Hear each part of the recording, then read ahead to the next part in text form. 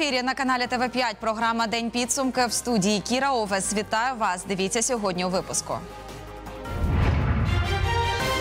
З нагоди Дня прапора України на 90-метровій висоті на Хортиці замайорів синьо-жовтий стяг. Недобудовані мости, тепломодернізація та річкові перевезення. Шляхи вирішення цих питань розглядали на міськвиконкомі. Вирок фермеру, через якого загинули військові, переглядають в апеляційному суді Запоріжжя. Іноді святкування йде не за планом, але це не привід засмучуватись. На острові Хортиця замайорів синьо-жовтий стяг. Його підняли на висоту у 90 метрів на найвищому флагштоці Запоріжжя. З нагоди Дня прапора вшанувати державний символ зібрались кілька сотень людей. Із подробицями Луїза Шубіна.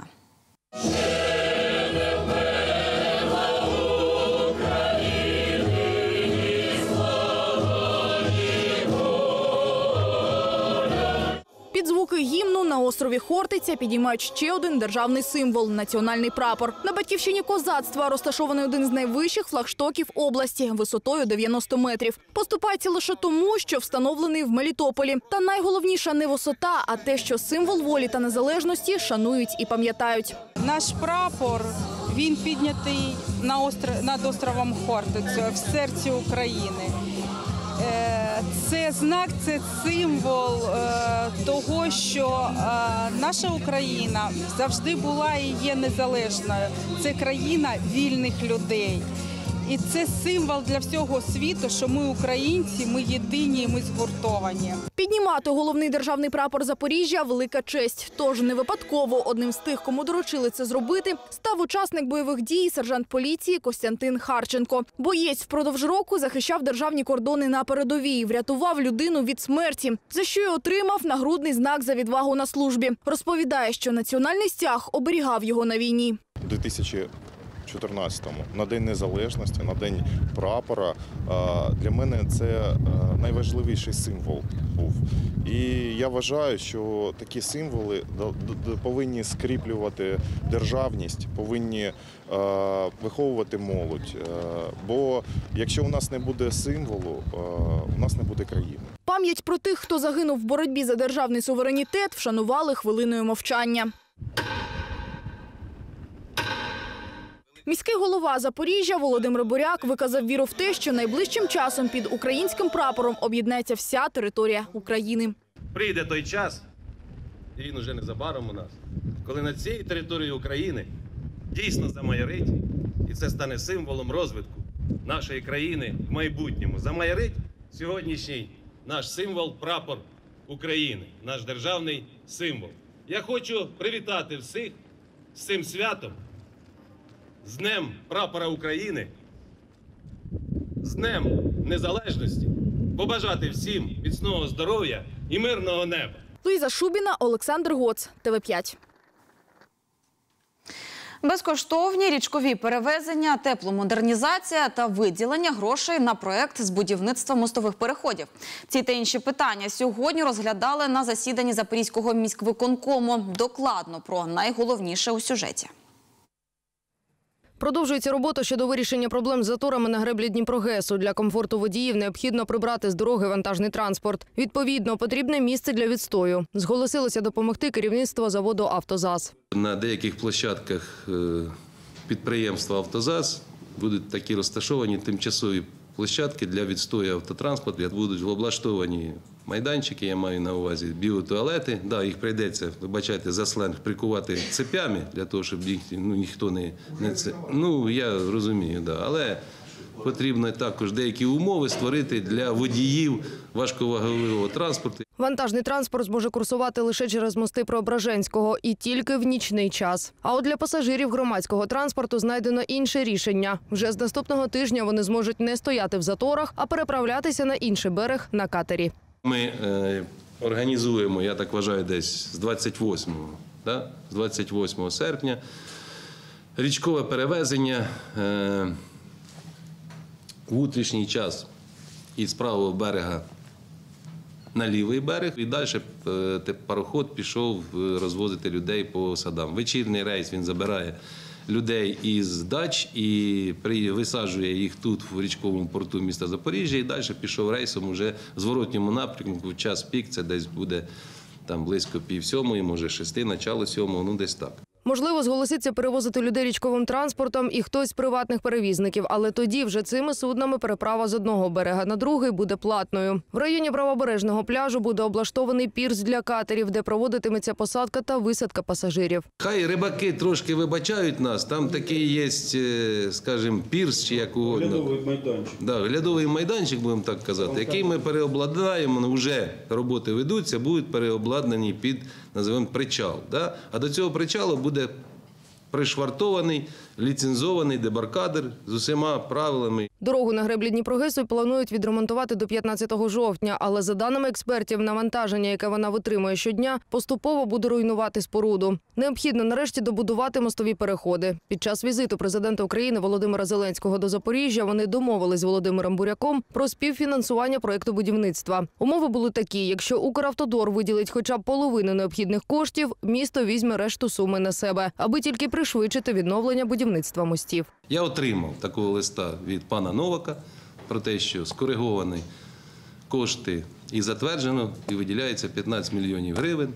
Тому на сесію, яка буде 28 серпня, ми також виносимо питання щодо виділення з міського бюджету 15 мільйонів коштів для того, щоб коригування проекту було закінчено. Після експертизи проведення міжнародних торгів компанія, яка виграє тендер, за попередніми даними, зможе приступити до будівництва вже з січня 2020 року. Проект рішення щодо фінансування необхідного проекту депутати розглянуть вже наступної середи. Крім того, міський голова розповів про те, що місто нарешті отримало кредит на тепломодернізацію. Робота над цим велась з 2016 року. Вчора ми отримали е, наказ міністра фінансів України про те, що місту Запоріжжя виділяється близько 15,4 мільйонів євро під термомодернізацію, якщо я не помиляюсь, близько 60 будівель. Під процент я вже сказав, це 2,5%. Це бюджетні будівлі, це там дитячі садочки, школи, лікарні і- інші, так сказати, споруди. Володимир Буряк також повідомив, що місто отримало перший з п'яти тролейбусів з автономним ходом. Найближчим часом приїдуть ще чотири. Вони працюватимуть у тому числі і на новому тролейбусному маршруті, який сьогодні затвердили на міськвиконкомі. Маршрут номер один з'єднає острів Хортиця з центром міста. Дар'я Купліченко, Іван Дем'яненко, ТВ 5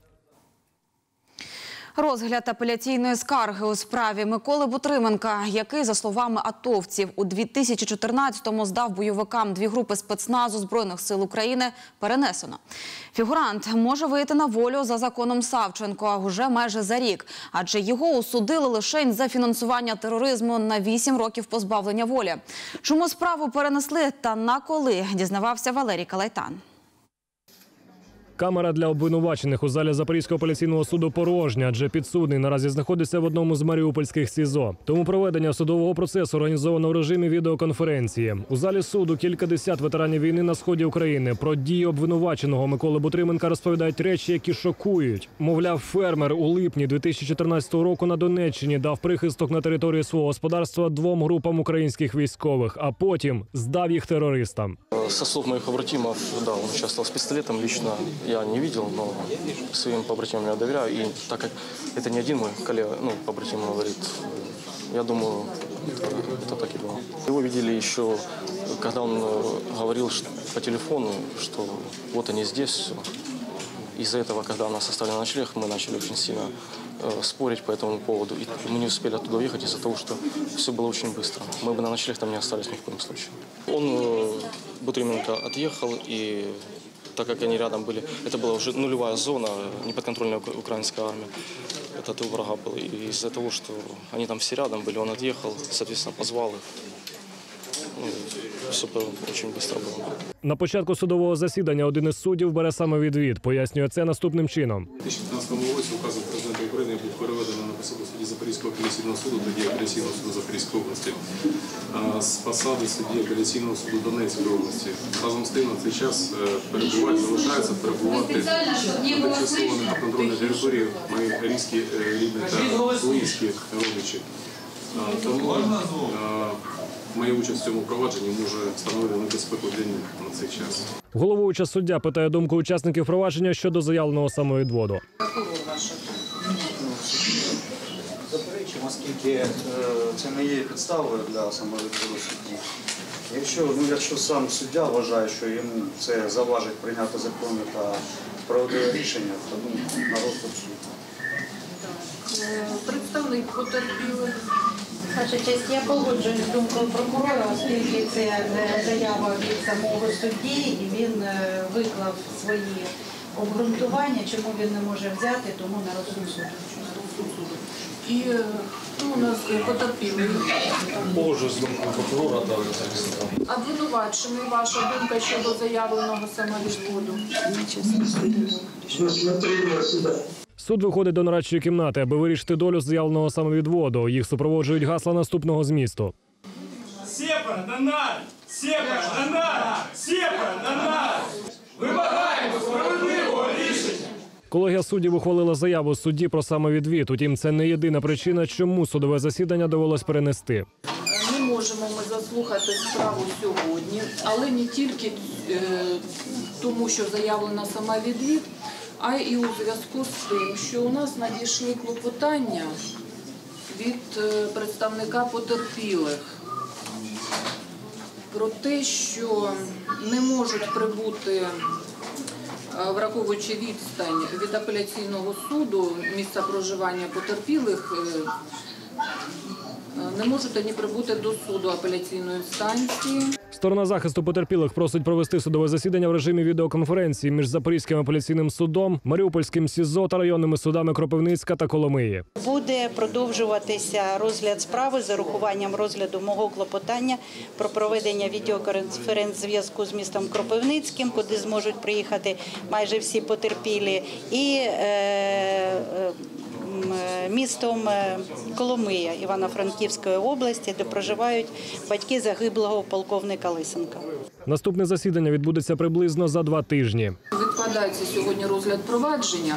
Дату, на жаль, ми вам зараз не можемо повідомити, але одразу повідомляю, що це буде не дуже далеко. Е, Будемо розглядати це провадження по п'ятницях.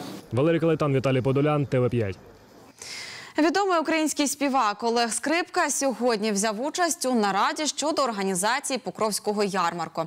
Разом з міським головою Володимиром Буряком вони оглянули локації майбутнього свята. Цього року воно проходитиме у новому форматі. Набережну магістраль не перекриватимуть. Від традиційного продажу речей відмовляться. Яким буде жовтневе свято, вже знає наша Дар'я Копліченко. Збір учасників наради біля козацького кола на Хортиці. Володимир Буряк зазначив, цього року хоче відійти від звичного формату Покровського ярмарку, зробити свято більш цивілізованим. Але сьогодні цей покровський ярмарок перетворився, знаєте, як продажу там шапок, чи там ще чогось, чи там е, гей-гей, там погуляли, випили, закусили і на цьому все закінчилось. Да? Тобто. Але хочеться мені, в моєму розумінні, якось більш театралізованого, більш такого мистецького, щоб це був ярмарок. Хай люди гуляють, випивають, це ж свято, це я не проти цього. Але хотілося, щоб все було більш якось так театралізовано. Тож було вирішено цього року Покровський ярмарок перенести на Хортицю. Вся территория заповедника и Сич, и музей, и та территория, на которой он находится, это зона пешая. Козацьке коло це основна локація. На галявині буде встановлена велика сцена. На асфальтованій території фудкорт. А я би, наприклад, запропонував сцену там. Прямо? Просто, да, просто народ ширше розійдеться і буде ну, краще зручніше. Ближе к сцені буде. Ну так, да, ближе, ближе до сцени і люди якраз ну, звідти йдуть, і якраз буде Вони сцена. бачать, да? Можна, можна і звідти прям сцену дивитися. Це круто. Ну так. Да. Воно, як там, зрительно від. Ти Да, бачиш, зразу, і відразу, ти бачиш, куди, відразу, куди відразу, йти. Як відразу кажуть, да. сцену, так. Оглянувши галявину, прямуємо до наступної локації. На даху музею козацтва планують встановити літературну сцену та намети з книжками. Олег Скрипка також вносить свої пропозиції щодо розміщення. Ні, ну треба гурти взяти електронщиків, е, рендвішні такі, ну, там Мамаріка, е, там Ну. Аліна Паш, такого плану. Ну, тобто це артисти із діджеями. Ну, а ярмарок туди вниз, тому що ну, все одно буде вітер. Вітер. Будуть Ми, здувати книги. ми- Там достатньо буде місця. І от там якраз можна сцену поставити на, на сходах е, літературну сцену. Там ну, же даже не Дана сцена, такий подіум, какой-то да, Сцену, формат. да. І попросити е, ну, художників чи когось Розмалювати. от- розмалювати оцю стіну. Це, це без проблем. Наступна і остання локація місце, де регулярно проводяться виступи козаків. Попереду шикарний краєвид. А тут саме, саме точка для сцени просто неймовірна. Тут саме красиво. Якщо головну сцену планувати не там, а тут. А там И инфраструктурно оно сейчас к этому не готово. нічого немає. Оно не може, готово. може в майбутньому. А що туди дороги нема? Ну, вона туди вниз отак обходить, але вона розмита, повністю розбита. Це нове будівництво. Ну чи це думати об- Це ж про ми- ми окремий ж це фестиваль планували. Вже на місці Володимир Буряк та учасники наради обговорили перспективи будівництва дороги та розглянули цей спуск до Дніпра як можливе місце гулянь на майбутнє. А скільки от цієї дороги, що внизу, я знаю, що це дорога. І отам на виход туди, скільки кілометрів? Кілометра нема. Та ні, тут метрів 600 сюди, яких. отак. От. Та Ні, ну, ні, так. це має бути пішохідна зона, але перелаштована, щоб по ній Ну, могла для заїхати. тех- для техніки. Да. Чтобы раз в год провести Да, большой да, фестиваль. про. Вже зараз є ідеї, як використати цю територію у майбутньому. Ну, У нас була така, така опція, це називається козацькі розваги. Тут козацьке шоу, а там козацькі розваги. Вони це готові коли- приїхати, Це якщо людей там затягують, і допомогти вони там проїздом. мішками б'ються, таке. Ні, ну без підключки можна щось там придумати. По дорозі учасники наради зайшли і на Запорізьку Січ. Планується, що тут буде встановлена сцена і виступатимуть відомі артисти. Бандуристи ні, а от такі хорея козацька, от такого плану, от такі Вони тільки були такого плану. вчора. Ну так і що, ще приїду. Так, приїдуть, да. от якраз люди- от такого покшиба. Тут же собирательная эмоция будет со всех этих километров. Засновник фестивалю Країна мрій, лідер гурту Воплі від Оплясова Олег Скрипка зазначив, ідею проведення тут Покровського ярмарку з міською владою обговорювали давно. Каже, дуже зрадів пропозиції Володимира Буряка провести свято на Хортиці і одразу підтримав ідею співпраці. Прекрасно е, те, що ініціатива йде від е, міської влади, е, виділяється міський бюджет. На це ставляться задачі і цікаві мистецькі задачі, які співпадають з моїми. Безумовно, всі фантазії ми не зможемо реалізувати.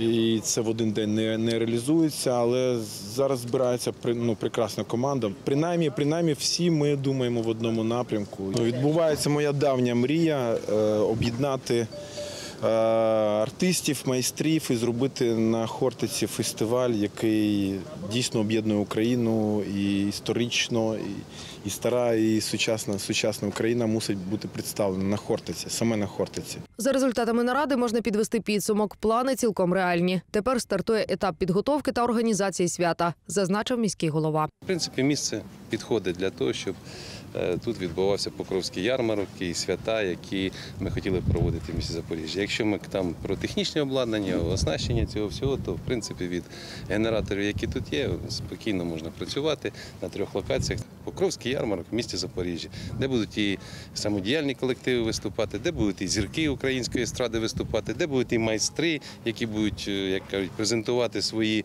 е, ті вироби, які вони вміють робити, які славляться на всю Україну. Дар'я Купліченко, Іван Дем'яненко, ТВ 5 Як морально підготуватись до нового навчального року? Про це та інше далі в нашому випуску.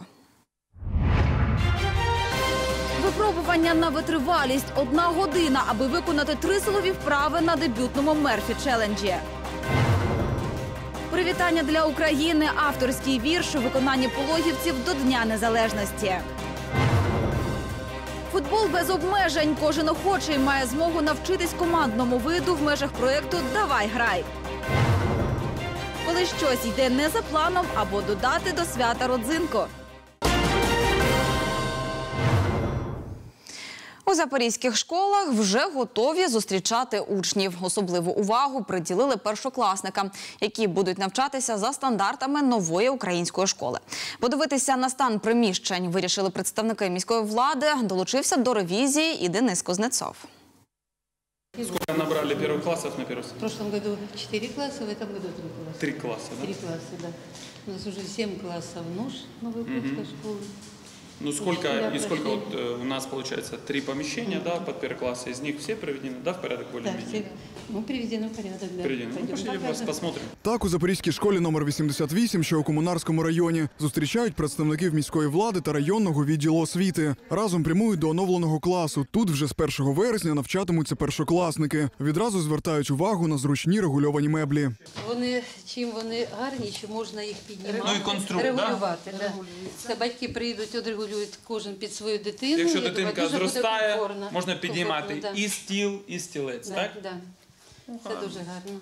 Цього року на кошти міського бюджету оновили 45 класів початкової школи. Кожен оснастили ноутбуком для мультимедійного навчання. Ноутбук, по-перше, це один із засобів навчання, технічних засобів. Звичайно, це і музика, і якісь відеоролики, і надзвичайно велика кількість навчального матеріалу, які вже облаштовані е, і вже е, зроблені. Ну не треба вчителю нічого вигадувати нового, і дітям це набагато цікавіше і доступніше, ніж вони це побачать намальованим на плакаті. Ну, чи тобто потрібен. Надзвичайно потрібен і цікавий, так. Разом з заступником міського голови комісія пройшлася приміщенням школи та за результатами перевірки винесли вердикт. До навчального року готові. Ми бачимо, що всі три кабінети, ну з тими умовами, що ми один відремонтували у цьому році, всі дуже гарні, світлі, є обладнання, меблі, сучасні, комфортні. Тому я вважаю, що першачки, які прийдуть до 88-ї школи, будуть у комфортних умовах. І я думаю, від цього все Запоріжжя виграє. На оновлення запорізьких шкіл у 2019-му з міського бюджету виділили 32 мільйони гривень. Таким чином, запорізька влада планує оновити матеріальну базу освітніх закладів та знизити фінансовий тиск на батьків. І з нашої програми ми у цьому році виділили кошти з місцевого бюджету 45 класів для першачків відремонтовано, ну самих найгірших.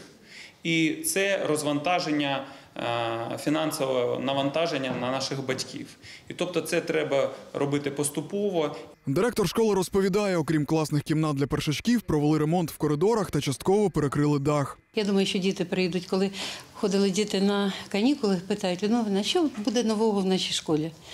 Я так замислилась, думаю, ну, треба ж діти восьмого класу мені задають такі питання. Тобто є така потреба у дітей, щоб щось змінювалось.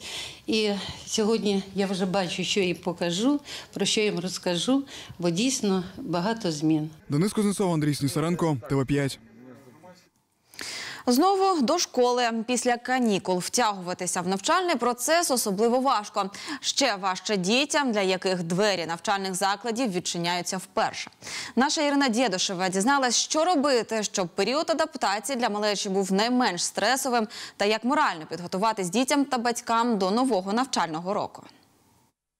Я до школи готовий. Так впевнено заявляє семирічний Ілля, який у цьому році йде в перший клас. Задля того, щоб новий період у житті хлопчика не був великим стресом, батьки з маличку розповідали йому про те, що таке школа. І зараз він хизується своїми знаннями. Це там, де діти навчаються, які учать різні науки, і різну хімію. І коли всі і в, і в другому класі учать алгебру, хімію. Я буду вчити усе, що мені скаже учитель. Мені зробили ну уже все. Стирачка, стружилка, карандаші, пламастери. Контейнери спеціальні. Ілля вже познайомився зі своєю майбутньою вчителькою та навіть знайшов нових друзів. Зайшов до класу, подивився, показав їй свій компас справжній, желізний обкована. І ми з друзів, і я знайшов собі тут два друга. Я хочу знайти собі дуже добрих друзів, які хочуть зі мною грати і дружити. Щоб хлопчик швидше звик до нової для себе ролі школяра, батьки відправили його на підготовчі курси. Півроку ми ходили, ми знайомі з заочем школи, яка у нас викладала психологію. Через те ми вже зайшли, і у нас були діти, з якими ми навчалися раніше. Бо це не було шокова терапія. Ні, ми все робили поступово, зважено. Мама трьох дітей Анна Поважна вважає, що дитина віддзеркалює емоції своїх батьків, тому намагається налаштувати себе до нових змін позитивно. І її старший син Ростислав теж в приємному очікуванні початку шкільного життя. Там треба читати, писати, рахувати. Я вже свою вчительку бачив, і вона мені здалася доброю. Я хочу познайомитися з новими друзями. Анна каже, що Ростислав важко адаптується до змін, тому вона розмовляла з ним і пояснювала, що його очікує в школі і що будуть вимагати від нього вчителі. Моральна підготовка, я думаю, була ще розпочата в яслах, коли дитина була е, відправлена з родини в інший колектив е, однолітків. Тому я думаю, що ті діти, які відвідували садочок, вони е, більш адаптовані морально будуть до першого класу. Також відвідували підготовку до школи і познайомилися з вчителькою. Спеціалісти ж зазначають, що якщо дитина йде в перший клас, головне, що треба зробити, перевірити її готовність до школи. Якщо у дитини не буде відповідної мотивації, вона не зможе засвоювати знання. Детей до там, 6-7 лет, а иногда даже, может быть, до 8, сохраняется еще потребность в играх, то есть ведущая игровая деятельность. Ребенок попросту хочет играться с другими детьми, у него еще не сформирована потребность в обучении, школьная мотивация вот это. И поэтому такой ребенок, попадая в первый класс, для него тяжело, он еще не понимает, что от него хотят и что нужно делать. Психолог каже, що якщо дитина все-таки готова до школи, можна її туди відвести, познайомити з вчителем та майбутніми однокласниками. Але з дитиною важливо розмовляти як з приводу цього питання, так і будь-якого іншого. Вообще нужно у ребенка спросить. Хочешь ты сходить посмотреть школу, хочешь ты там познакомиться с учителем, и ребенок скажет, хочу или нет. Батькам важливо також розуміти, що діти, як і дорослі, потребують відпочинку. Тому не треба з першого ж дня канікул нагадувати про те, що скоро знову настане шкільний час. Ребенок может испытывать стресс перед началом учебного года, родителям важно его в этот момент поддерживать как-то. Не об- наоборот, не пугать его, э, что некоторые могут так делать. А вот если там ты не подготовишься, если не почитаешь, а тебя выгонят, а тебя ждет, а ты в сентябре ничего не сдашь. То есть не пугать ребенка, не усугублять вот эту стрессовую ситуацию, наоборот, дать ему поддержку. Входити в шкільний ритм треба поступово, не навантажувати одразу дитину секціями, гуртками чи додатковими заняттями. Ірина Дєдушева, Олександр Гоц, Артем Герасимов, ТВ5. Вперше у нашому місті відбувся Мерфі Челендж. Цей рух об'єднує співробітників силових структур у всьому світі. Головна мета спортивного заходу вшанувати пам'ять загиблих військових. Микола Замирайло докладніше про незвичне для Запоріжжя дійство. Парк перемоги. 28 учасників старанно розминають м'язи та готуються до справжнього випробовування для свого організму. Кожен з молодиків повинен пробігти 3200 метрів, підтягнутися 100 разів, 200 разів віджатися від підлоги та виконати 300 присідань. На це дається всього одна година. Мерфі челендж проводиться у всьому світі задля вшанування пам'яті загиблих у бойових операціях солдат. Силовий комплекс вважається одним з найважчих. Названий він на честь загиблого американського військовослужбовця Майкла Мерфі. Кожен учасник виявив бажання підтримати нас, е, віддати свою шану та пам'ять за воїнів, які загинули за незалежність країни. Також е, ми відмітимо кращих учасників заходу та виразимо подяку е, усім, хто був тут наразі з нами.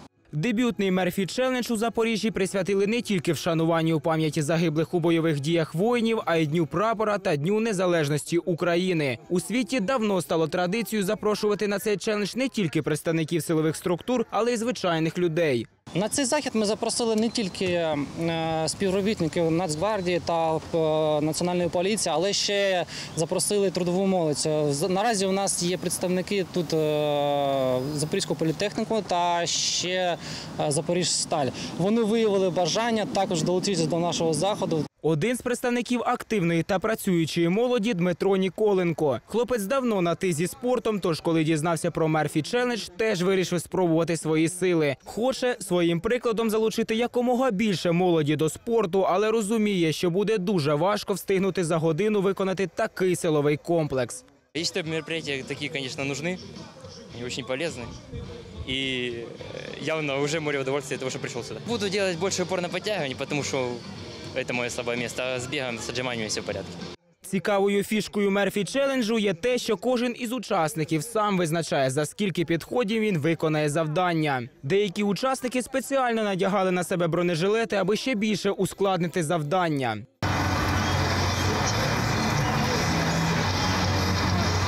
Мерфі челендж це також і популяризація здорового способу життя серед підростаючого покоління. І ось як це спрацьовує.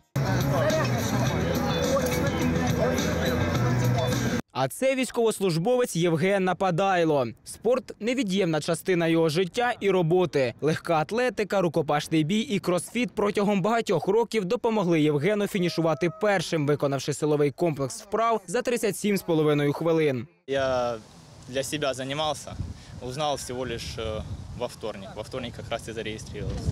Время на подготовку не было. Впечатление отличное, серьезно. Ну, соревнования на высоком уровне, результаты тоже на высоком уровне. Как-никак военная часть держит планку и очень хорошую. Все, ну, почти все выступают очень хорошо. Действительно шли по пятам, еле-еле выл- вырвал эту победу. Організатори наголосили на тому, що Мерфі Челендж відтепер стане для Запоріжжя традиційним, і з кожним роком кількість учасників зростатиме. Микола Замирайло, Андрій Снісаренко, ТВ 5 У новому форматі цього року пологівці вирішили привітати Україну з Днем Незалежності, а саме авторським віршем у виконанні справжніх патріотів. За участі дітей, молоді та учасників АТО автори ідеї зняли відеоролик. Мої колеги розкажуть, чи багато часу знадобилось на створення привітання та де його можна побачити. Так проходить знімальний процес майбутнього відеоролика Привітання для всієї України. Створити поздоровлення на основі патріотичного вірша спільна ідея працівників Пологівської районної адміністрації та журналістів місцевого інформаційного порталу. Вірш Наша Україна найрідніша, що став основою ролика, написав учень Пологівського професійного ліцею Артем Назаренко. Хлопець каже, поезія народилася спонтанно ще рік тому. Сидів з компанією друзів, спілкувався, і чомусь в мене виникла така ідея написати патріотичного вірша. Подивився на окружаючий мір, так сказати. І виникла така ідея. Подивився, що коїться в нашій Україні. Е, Це все мене надихає. Хотілося розповісти все, е, викласти всі свої думки наповну. Хотілося донести людям, щоб вони побачили цю красу, е, щоб вони не руйнували її. Що хочеться, щоб Україна жив- була жива, щоб вона завжди процвітала. Учасники АТО, вихованці дитячого садочка, міський голова, активна молодь, діти. Учасниками ролику стали пологівці різного віку та професій. Знаєте, ми намагалися об'єднати всі верстви на, на нашого населення від самих найменших, ті, хто ходять до дитячого садочка, до самих найстарших, які представляють е, раду ветеранів. Це і діти, це і спортсмени, це і наші захисники. І, на жаль, це мама, родина загиблого, нашого героя Артема Корнєва. Хочеться того, щоб люди гордилися тим, що вони українці. І хочеться, щоб саме об'єднувалися і розуміли, що молодь це майбутнє України, діти це майбутнє України. І просто що Україна в нас най... найгарніша держава. Кілька днів зйомок, монтаж і вірш ожив. Наша країна найрідніша, вона жива, немов ріка, лани, степи та ті стежини. Любуюсь ними я щодня. Тут так гарно, друже, цвітуть черешні, яблуні та груші. Тут працею сповнені люди живуть, добро й милосердя старанням кують. А там поглянь в полі, файна пшеничка, буде добре з медом взимку паляничка. А поряд річка невеличка, що в Дніпро опадає. Ми маленькі українці, іншого не знаємо. Вийдеш в поле, вдихнеш наповні, й волю відчуваєш. В ніч подивишся на зорі, пісню заспіваєш. Тут я народився, тут я проживаю. Рідний край ціную, про інший не дбаю. Кожен з нас повинен знати, що одна країна має бути у душі і в батька, і в сина. Тож сьогодні щиросердно хочемо сказати. Ти шануйся, Україна! Бо у тебе Свято! Ти зростай, міцній державо, ми за тебе станем, і з колін на повен зріст рідною поставим. Квітни і буяй країно, від моря до гаю, і наші вітання прийми з Пологівського краю. Готовий відеоролик усі зможуть побачити, зайшовши на місцевий поливський інтернет-портал вже від сьогодні, аби привітання до головного свята України Дня Незалежності отримав кожен українець. Катерина Шапка, Дмитро Демидов, Пологи, ТВ 5 У Запоріжжі продовжується реалізація проекту Давай грай. Завдяки ініціативі футбольного клубу Шахтар та підтримці запорізьких підприємств упродовж року близько трьох сотень дітлахів опановують гру мільйонів абсолютно безкоштовно. Як потрапити на заняття, дізнавалась Тетяна Кочеренко. Заняття улюбленим спортом без обмежень в Україні продовжується реалізація масштабного проекту Давай грай, ініційованого некомерційним фондом футбольного клубу Шахтар. Завдяки підтримці запорізьких підприємств Метинвесту проект з'явився і у нашому місті. Основна мета таких занять розвиток дитячого футболу та популяризація здорового способу життя. Многие мои друзья и родители увлекаются футболом, я решил тоже научиться играть в футбол. Тренировки происходят на вот этом вот поле. Нам, нас учат э, ви- водить мяч, э, бить поворотом. И в конце тренировки у нас обычно и- идет игра между оранжевыми и, зелеными, и зеленой командой. Більше 300 дітей займаються футболом на трьох сучасних майданчиках Запоріжжя. Один з них знаходиться у школі номер 33 в Заводському районі. Тренування проводять кваліфіковані тренери-волонтери. Тричі на тиждень вони допомагають дітям опановувати майстерність улюбленої гри мільйонів. У нас набор деток от э, 7 до 12 лет. Э, Тренируемся три дня в неделю, понедельник, среда, воскресенье делаем игровой день. Детки приходят э, практически с нуля, никто даже до этого никогда не играл, просто любительски где-то во дворе. Мы начинаем их обучать технике и дисциплине. Аби потрапити на тренування, необхідно заповнити спеціальну анкету та надати довідку від лікаря, що дитині дозволяються фізичні навантаження. Батьки кажуть, у захваті від нового проекту, адже сьогодні все більше дітей віддають перевагу спорту. Привела сюда ребенка, мальчика Степана, который давно мечтал заняться футболом. Ну вот появилась такая возможность. Этого очень не хватает обычно. Э, Это надо. Для нашей молодежи это надо. Движение, спорт, не только телефон, не только э, безделие, скажем так. Это очень нужно нашим, нашим детям. А це вже школа номер 92 у Хортицькому районі. Тренування у самому розпалі, тож діти із задоволенням виконують усі настанови тренера та зізнаються. Хоча футбольне мистецтво підкорюється не одразу, тут почувають себе гравцями справжніх топових клубів. Я здесь во второй раз. Э, Мне просто очень нравится футбол. Бегаем, м, всякие финты учим, футбол сам играем. Сначала у нас идет разминка, а потом мы, уж- мы уже учим новые финты. Унікальність проекту полягає у тому, що до тренувань можуть долучитись усі бажаючі, незалежно від фізичних даних та навіть статі. А у складі команди можуть займатися навіть дітлахи з особливими потребами. В принципе, это хорошая инициатива, потому как э, детки разного возраста да, приходят, и они общаются, занимаются, поэтому то, что бесплатно, это огромный плюс.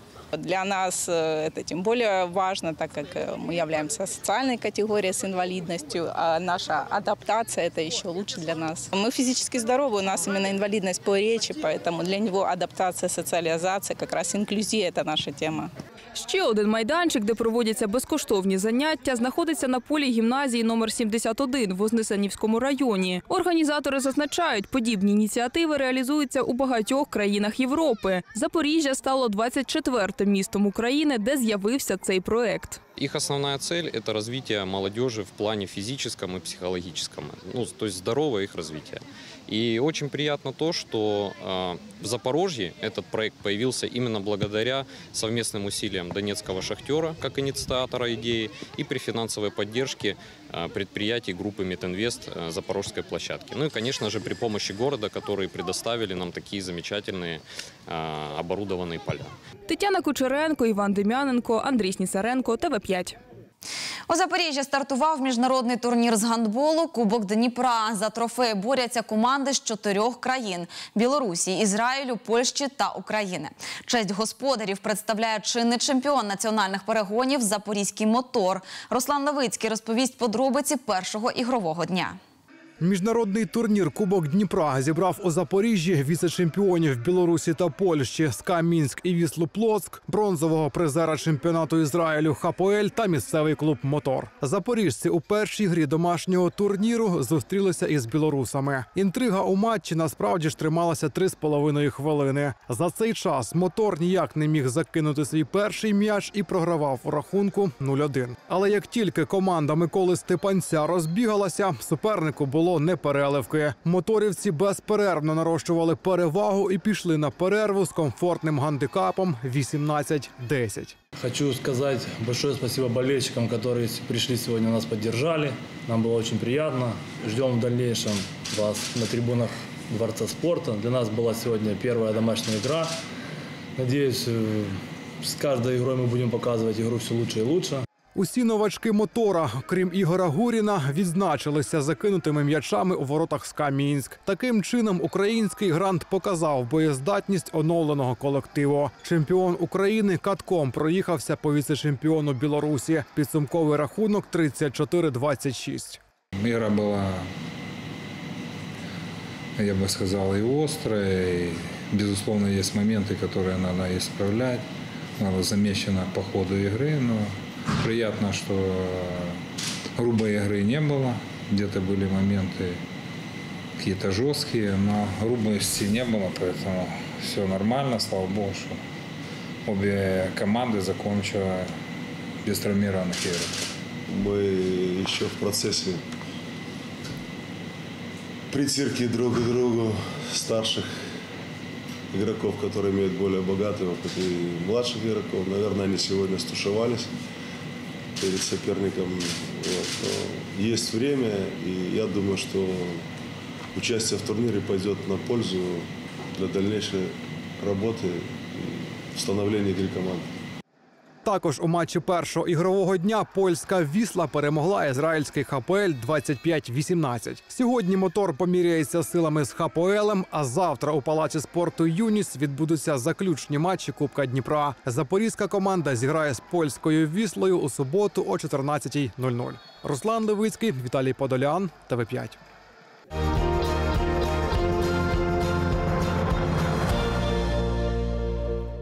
Цьому році виповнюється 130 років від дня народження легенди світової авіації киянина Ігоря Сікорського. Він творець першого у світі важкого великовантажного літака Ілля Муромець і безлічі інших літальних апаратів. У всьому світі відомі гелікоптери Ігоря Сікорського. З Запоріжжям у засновника вітчизняної авіації особливий зв'язок. Сам комплекс для строения в Запорожье был создан благодаря тому, что был создан самолет Сикорский Илья Муромец. И именно для этого самолета в Запорожье начали выпускать двигатели.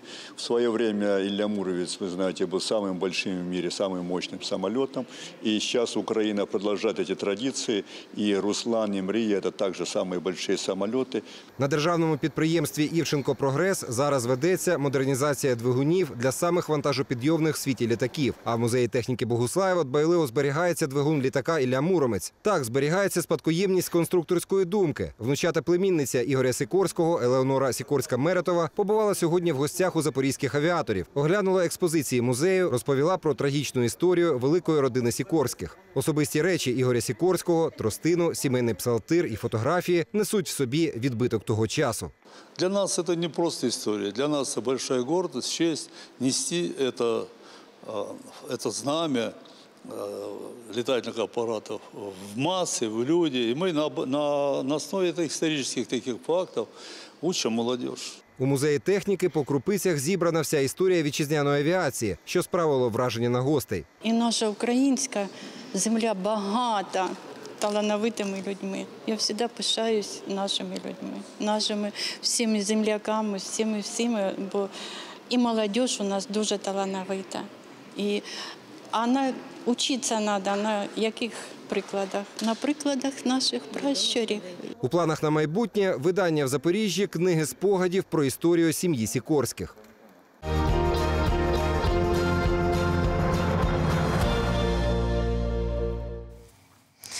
Щось пішло не так. Коли бажаєш відсвяткувати будь-яку подію як найкраще, але раптово все йде не за планом. Це не привід засмучуватись. Навпаки, це чудова нагода додати у свято родзинку та вогню. Адже саме такі моменти запам'ятовуються на все життя. Тож, не дивлячись ні на що, хай у житті переважають лише позитивні емоції.